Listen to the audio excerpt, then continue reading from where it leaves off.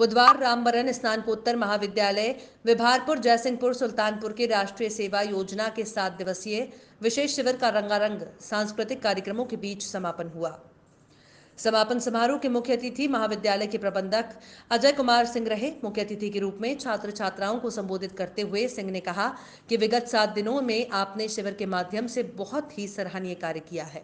आपने चयनित गाँव में जाकर कोरोना संक्रमण से बचाव, साफ़ सफ़ाई और नशा उन्मूलन के क्षेत्र में जो कार्य किया है, उसके लिए आप सभी बधाई के पात्र हैं। सिंह ने आगे बोलते हुए कहा कि विगत सात दिनों में आपने शिविर में रहकर जो अनुशासन, भाईचारा और प्रेम दिखाया है, उसे अपने वास्तविक जीवन में भी उतारें ताकि आप एक अच्छे नागरिक बनकर राष्ट्र निर्माण में अपना श्रेष्ठ योगदान दे सकें। शिविर की सफलता के लिए कार्यक्रम अधिकारी अजय त्रिपाठी और सर्वेश सिंह को बधाई देते हुए उन्होंने छात्र छात्राओं के उज्जवल भविष्य की शुभकामनाएँ दी। समारोह में प्रबंधक अजय कुमार सिंह ने शिविर में विभिन्न क्षेत्रों में श्रेष्ठ प्रदर्शन करने वाले छात्र छात्राओं को सम्मानित किया।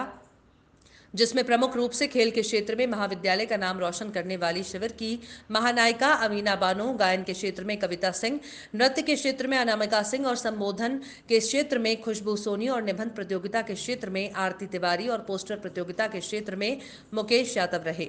शिविर के समापन के अवसर पर छात्र छात्राओं द्वारा मनमोहक कार्यक्रम प्रस्तुत किए गए, जिसमें प्रमुख रूप से राष्ट्रीय गीत, बसंत गीत और स्वागत गीत रहा। इस अवसर पर प्रशासक संजय कुमार सिंह, प्रधान जीत बहादुर यादव कार्यालय अधीक्षक राजत राम यादव, वरिष्ठ प्रवक्ता श्री जी के सिंह, राम प्रताप दुबे और श्याम कुमारी, बालिका इंटरमीडिएट कॉलेज की प्राचार्य कविता सिंह, डायरेक्टर अमर प्रताप सिंह और भारी संख्या में क्षेत्रवासी और अभिभावक गण उपस्थित रहे। हमें रोक सके, एक जमाने में दम नहीं, हमसे है जमाना, जमाने से नहीं। जो लोग हवा के वेग के साथ चलते हैं, वो कभी इतिहास नहीं लिखते हैं। बढ़ती नदिया का यह पानी कुछ तो कहता है, बीती हुई कहानी का हर दुखड़ा सहता है। धारा के प्रतिकूल बहादुर सदा तैरते हैं, धारा के अनुकूल हमेशा मुर्दा पाता है। इसलिए ऐसे लोग जो इस समाज में कट्टे और तमंचे की राजनीति करते हैं, जो इस समाज में बंदूक की राजनीति करते हैं, अगर युवा सामने आ जाएगा तो ऐसे लोगों के नापाक इरादों को ध्वस्त कर दिया जाएगा। और कैंपस में, पूरे समाज में, पूरे जनपद में अमन और चैन की ज़िंदगी होगी। भाई बहन के रिश्ते बरकरार होंगे। हर भाई अपने विद्यालय को अपने बाप का द्वार और हर बहन अपने विद्यालय को माँ का आँगन समझेगी।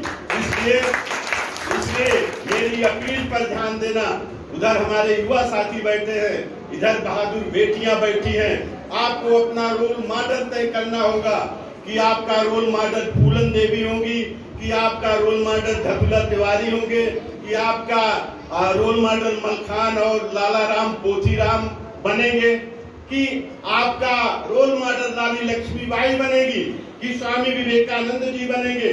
कथानक व्याकरण समझे तो सुरभित छंद हो जाए, हमारे देश में फिर से सुखद मकरंद हो जाए। मेरे ईश्वर, मेरे दाता, एक कविता मांगती तुझसे, युवा पीढ़ी सबल करके विवेकानंद हो जाए। जैसे मानवता विलापम करोति भ्रष्टाचार से पराकाष्ठा अस्ति अधुनापि अस्माकं देशे उग्रवादिना सक्रिया सन्ति। ते रिवाल्वरेण गोलिकायां प्रहारं कुर्वन्ति। महतीयं विडम्बना बलीयसी च कदर्थना अस्मिन्